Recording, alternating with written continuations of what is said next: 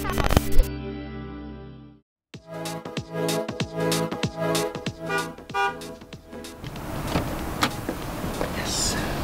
Us a hand on this table, would you?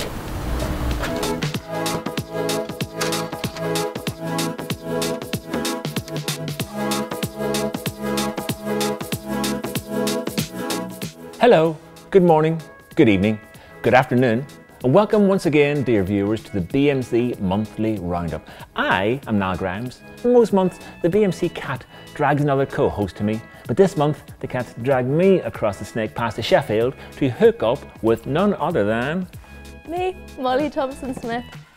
Molly Thompson Smith.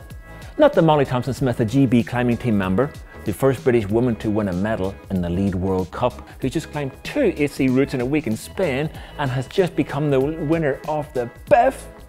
Nah, a different one. The other one's much better than me. There she is. So anyway, not so good, Molly. Welcome to the show. So to kick off with some big news about the BMC TV and our YouTube channel, We'll also be hearing about the Sheffield Adventure Festival and some exciting competition news, and giving one lucky viewer this amazing Montane pack. It's amazing! And Molly, not to make you blush, but uh, we'll be hearing about the BIFF, the Beastmaker International Footless Festival, about the BMC Volunteer Award. but firstly, Molly, do you know how to kick steps in a steep snow slope? Of course I do. Are you happy in applying magnetic deviation? Uh, yeah, super confident. Oh, really? Molly, are you happy to do an ice axe self-arrest? Never happier. Oh, really? How do you know all these things? Well, from the skills section of the BMC TV, of course. Ah, of course, of course, of course. And big news for video fans is that, yes, we've pulled the plug on the old BMC TV platform and we're busy moving everything, everything over to the very own YouTube channel. So for all the features, all the skills videos, all the comp reports, head over to the Team BMC YouTube. And whilst the team have been moving the videos over, they found some hidden gems. Take a look at these top five films. And it really is just a, a bunch of rusty old ladders propped up against the crumbling slate. I'm here with the BMC grid measuring team, Steve and Claire.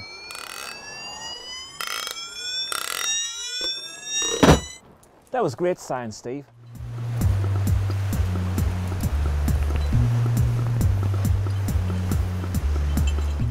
I like it a challenge, that's what it is. I just like it to be tough. I like to earn my bar of chocolate in the evening. For this peak to be called the inaccessible pinnacle, it's like there's a challenge that's been thrown down. All right, so Molly, one of the reasons the BMC cat is down here. Look, it's the BMC cat. One of the reasons the BMC cat drag me is here to meet you, of course, but another is to have a look at where we are. Molly, where we are. We are in Unit E. This is the Climbing Works' latest training facility. Unit E, huh? What does the E stand for? Does it stand for everyone welcome? Or does it stand for air? Have you paid to get in? Or does it stand for elites only? Well, it's pretty high level, aimed mainly at comp style bouldering with the emphasis on harder problems and training. Yeah. Do you think I could climb here, Molly? Is it possible? Could I become elite? Could you teach me, please? Uh, well, no, maybe later I'll give you a few tips. We'll see what you could do. Thank you, Molly. Did I see you here a few weeks ago as part of BIFF 2019? That's right, Niall. I thought it was right. the Beastmaker International Footless Festival takes everyone's favourite style of climbing and finds out what you're made of. And I see what you were made of. Molly, have you got something to tell us about the BIFF? Molly, aren't you the uh, the winner? Uh, yeah, um, yeah, I. I was pretty pleased about that. It's good to know that I can climb without any technique too. So, what is this all about? This uh, comp style climbing we keep hearing about? Doesn't look very much like uh, Dinas Cromlech. no, I think the worst part about comp style bouldering is that it never looks hard. And then it's uh-huh. so hard. Oh, really? Do you practice on these style of things? The holds all look pretty rubbish. Yeah, they don't really look like holds, do they? More like futuristic blobs. Yeah, yeah, yeah. And you wrestle these futuristic blobs in an upward direction. Yeah, I do try to, though, mainly I find myself going down to the floor. Uh-huh. Do you like it? I do, I do. It's nice to have like a nice, bright, clean facility. But do you like that style of climbing? Ah, well, seeing as I won the BIFF, I don't think so. Right, right, right. Uh, do you learn to become better at it? yes, I think one of the nice things about this style of climbing is that it is like a skill to be learned. So it is really satisfying when you do eventually like get the hang of it, but it takes quite a while. Dinos and jumping. Yeah, You've been working your legs. I have. I've been going to the gym. Good to hear. Okay, so let's see the BIFF and Molly in action.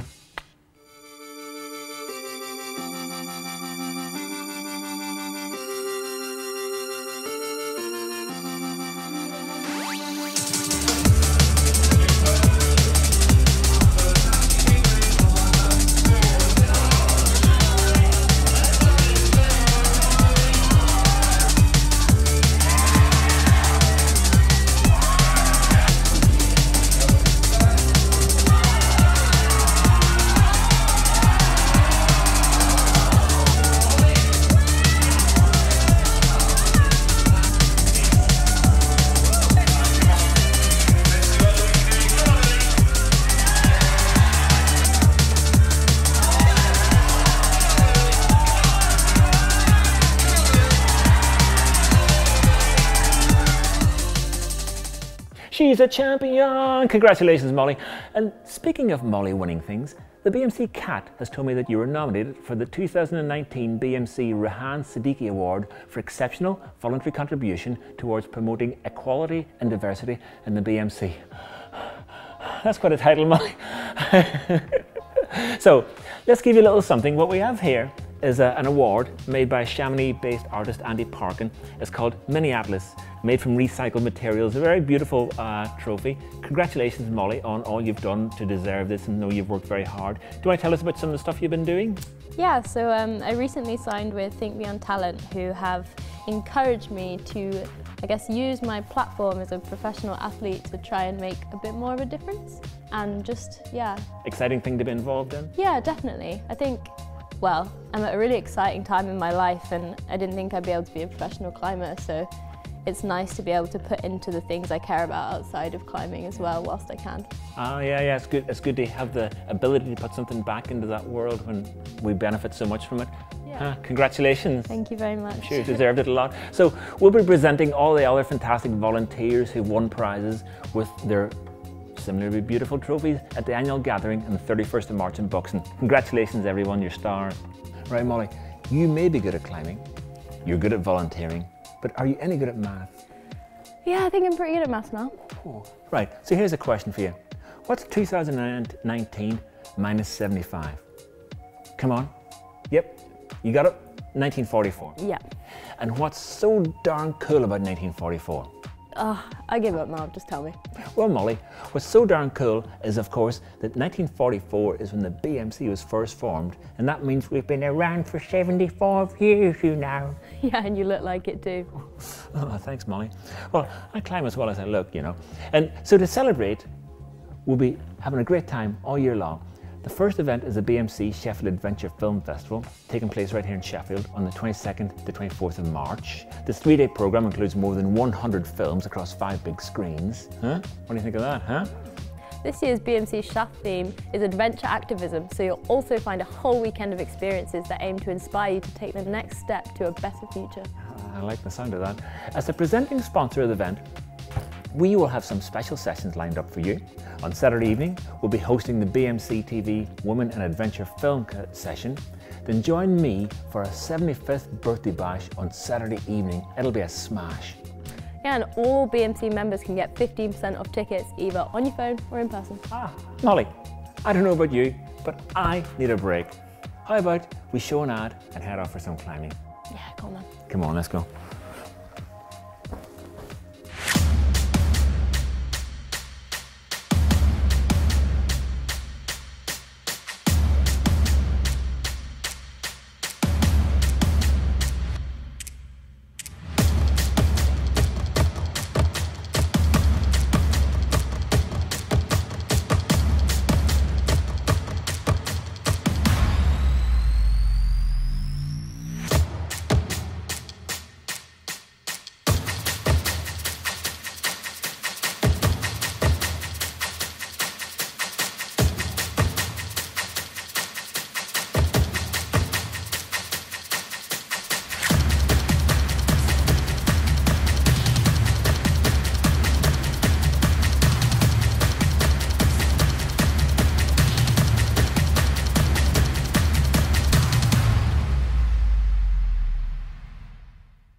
So Molly, uh, I woke up this morning. My uh, my agent said to me I'd be talking in my sleep. and I was talking about sort of gold medals and uh, thanking my sponsors in Tokyo. So, and I can only work it. And I kept thinking I was dreaming about big coloured holes. I, I think it was my Olympic dreams are coming to life, and I realised that I'm a bit sort of climbing wise very old school. So I thought I'd take advantage of you being here. And can you introduce me to the new school? I mean, I go the sort of climbing I do won't get me a gold medal, and I want a gold medal. Yeah. Don't we all do? now? Yeah, we Don't all. we all? That's we all. We're all humans. We all want gold medals. what can I do here? We're in Unit E, and can I become a gold medalist here? This is Yeah, I where see a hand gold up there for a start. important. Yeah. Um, hand jams do crop up every now and again in comps, but you get quite yeah, not my not my thing. Um, but we, we get quite a lot of big blobby holds This- or volumes, like ones where you're not quite As said, sure where the line good. is. Like, is it a hold or is it a volume? I feel like that sums up Uh-huh. modern new school bouldering. Right, right. When I hear volume, I think of my, my hair, but it's, it's It's- yeah, you've got a lot of volume. Yeah, I do. So what can I learn here, Molly? Can you teach me the way, the ninja Yeah. way? Well, there's a few moves that come up quite a lot. This is like a classic palm move. Uh huh. So you're gonna put all your weight onto your, Under that one. your left hand, yeah. And stand up through your right foot. Ah. Don't forget you've got to start with points on the tape. Nice. Now what? Now let's see your flexibility. Can you get your left foot to your left hand? Whoa! No, I can't. I mean, I've got in my head that I can't do these sort of problems. Ah, you won't do them with that attitude. You get a bad I hate to say it, but it's true. Okay, come on. Oh, almost. You could just put your left foot Oh, up onto didn't this one first. Right.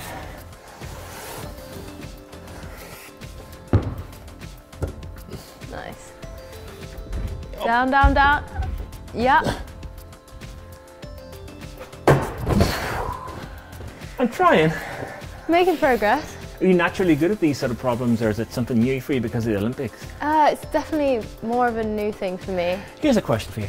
Who's decided that this is the way it should be? Some, I think maybe because it's more exciting to watch. but who decides that? I don't know.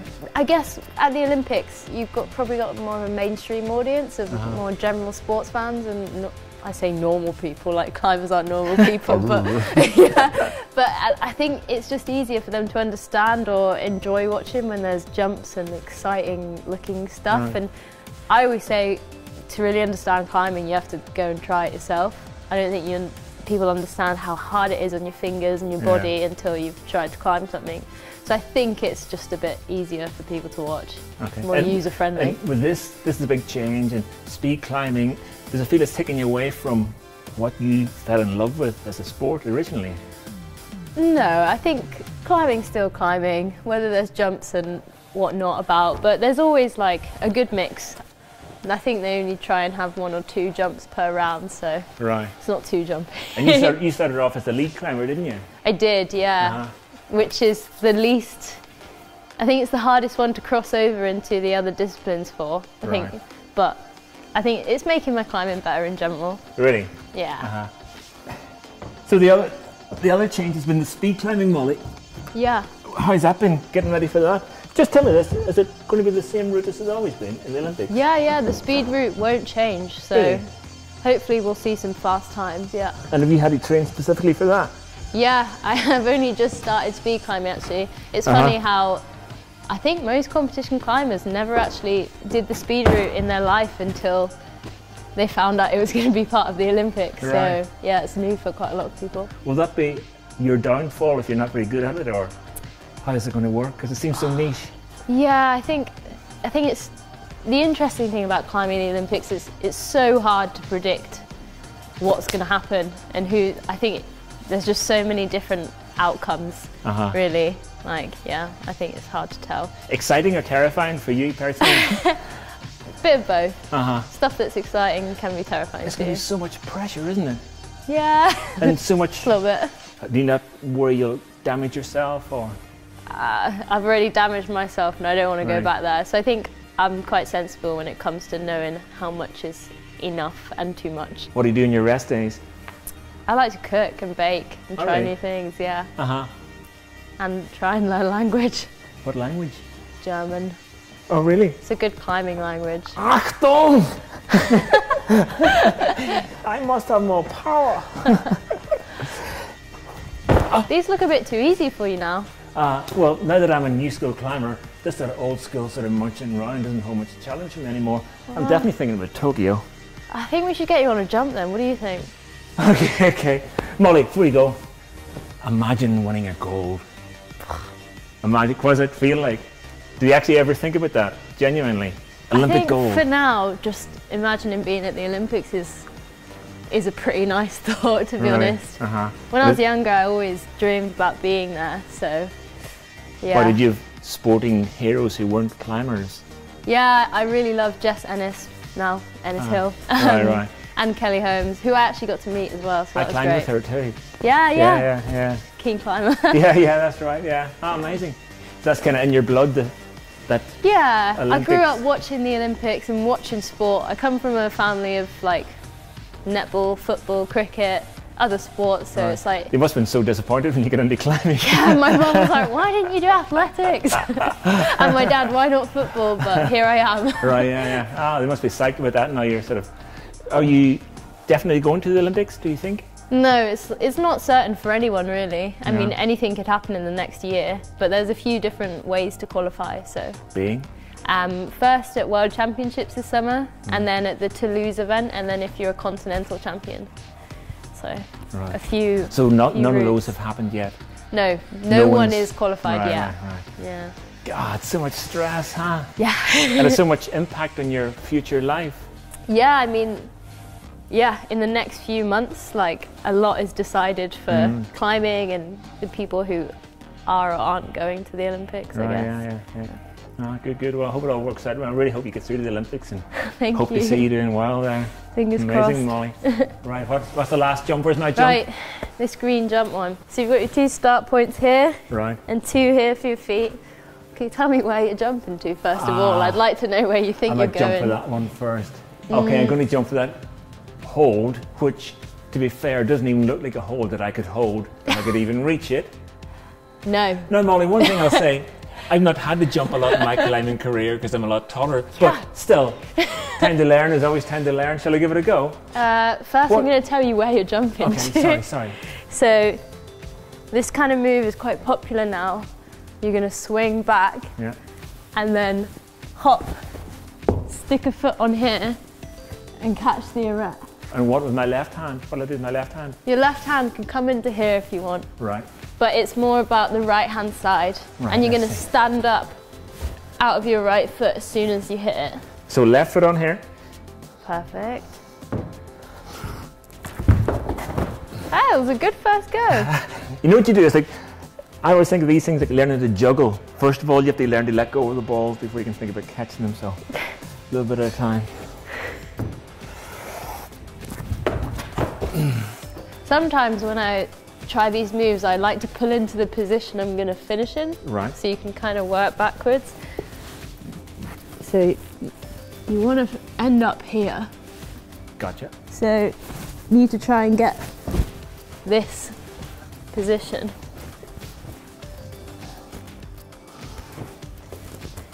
And it helps to like, can work out what angle So There's like a down's perfect better. angle to stand on volumes with. So you want to work out how much your heel needs to be dropped.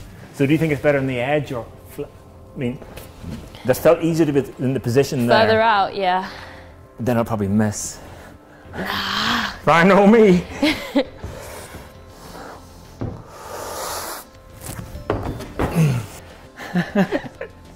Professional jumping. yeah, yeah, yeah, yeah.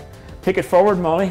I must say, Molly, thanks for opening the door to this sort of climbing. I never, I always shy away from it, and you've sort of just opened the door slightly and shown what it's all about. So thanks for that, and good luck with everything. Thank you. Thanks Yeah. for having a go. Ah!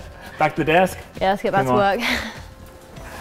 and we're back. My Olympic dreams are alive. Tokyo 2020, here I come. Molly, will you be competing at the last Botteva BMC British Bouldering Championships this summer by any chance? Unfortunately, now I will not be there. Oh no, how come? I'll be in Switzerland competing at the IFSC Lead World Cup this year. So Ah, I know, good such a shame. But I'll be watching the live stream for sure. Ah, I love the live stream. Uh, so the big news is that the Clif Bars, these guys, will help us produce the live stream and beam it out to the Beeb. So huge thanks to Clif Bar for the support. We really appreciate it. Thanks, guys. Molly, do you ever feel that pressure in front of uh, cameras, in front of crowds, when they're all shouting, Molly, come on, come on, come on? Um, How do you I think that? I think I zone out. I think quite a few climbers just zone out when they're like, yeah, competing on the mats um, or tied in. Uh-huh. Just easy to block everything out and focus on what's in front of you. In your bubble, Yeah, in my Uh-huh. bubble. Some voices come through, but for example. uh, Dad's voice. Come down, Molly. you're Shout hurt out to Dad. yeah. Well, I can't wait to watch that.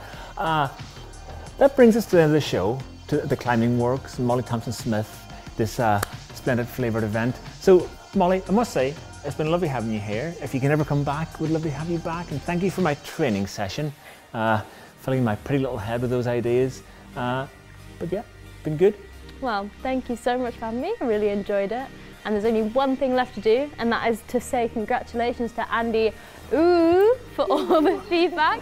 Uh, here you go, Andy. This Montane pack is for you. Yoo-hoo. And with that, it's time for us to finally say goodbye. See you next month, everyone, and thanks for tuning in. Bye.